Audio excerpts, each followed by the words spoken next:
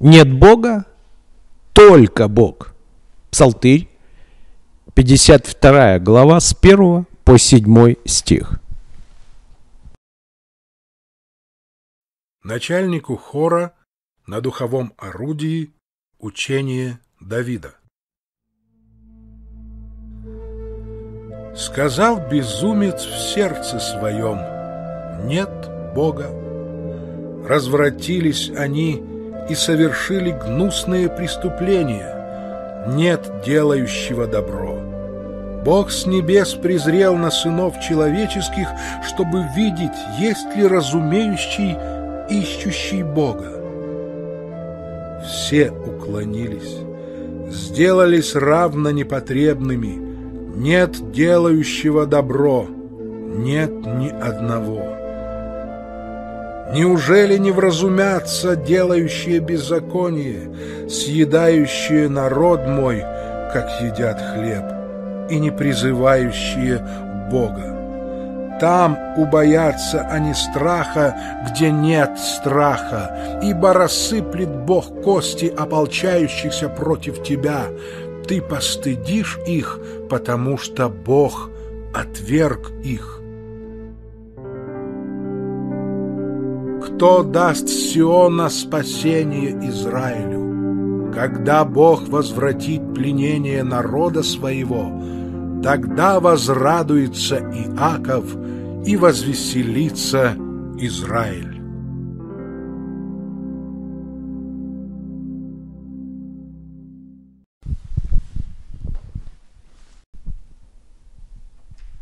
Размышления, часть первая. Безумие нечестивых. Псалтырь, 52 глава, с 1 по 5 стих. В этом мире есть много зла. Насилие, ненависть, обман, предательство, жадность. Однако самое большое зло – нежелание познать Бога, ибо это противоречит Божьей воле – а воля его в том, чтобы человек познавал его. Нечестивые упиваются своим безумством и игнорируют Бога, но Он прямо выступает против тех, кто отвергает Его присутствие и существование.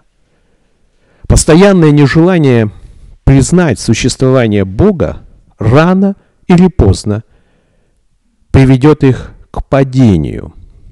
Господь ищет тех, кто искренно ищет Его. Давайте искать Бога и строить с Ним правильные взаимоотношения. Как ваши взаимоотношения с Богом влияют на отношения с другими людьми? Молитесь, чтобы быть благоуханием Христовым для тех, кто отвергает его. Размышление, часть вторая. Господь спасает.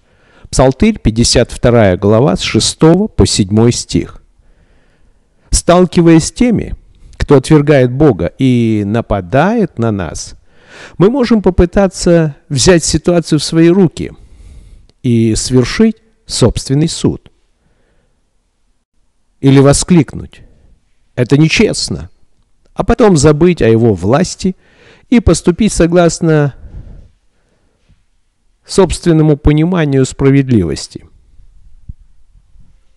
Но эти стихи напоминают о том, что Бог справедлив и в свое время свершит свой суд. У нас есть надежда – потому что Бог не позволит злу продолжаться вечно. Он спасет и исцелит свой народ. А до тех пор будем уповать на Него, терпеливо ожидая того дня, когда Он сам исправит все кривизны и свершит свой суд. Если приходит отчаяние от зла, что творится вокруг, молитесь, чтобы Бог помог вам поднять глаза и увидеть того, кто царствует над всем, поступает справедливо и судит праведно. Молитва. Дорогой Господь, наш мир – такое тяжелое место, особенно для тех, кто не знает Тебя. Пожалуйста, помоги мне быть светом, чтобы Твое имя воссияло во тьме. Во имя Иисуса Христа я молюсь. Аминь.